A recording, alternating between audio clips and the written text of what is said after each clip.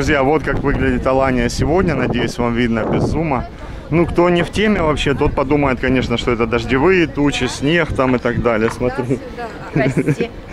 А на самом деле это все вот эта африканская пыль, такой концентрации еще не было за 5 лет, сколько я здесь. И так долго ее не было. На этот раз она идет с Ливана, я вот читал, то она была с Сахары пустыни, сейчас не знаю откуда она идет с Ливана сюда.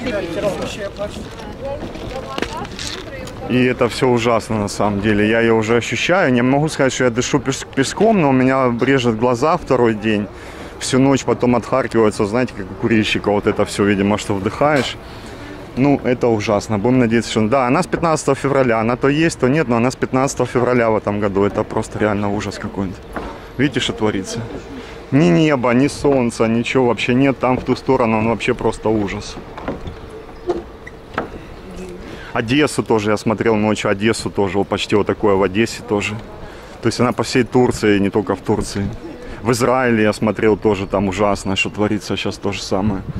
Так что вот такое вот какое-то. Ну, видите, что творится, друзья? Это просто это кошмар. Это кошмар, и оно повсюду. Еще и дикий ветер сейчас поднялся.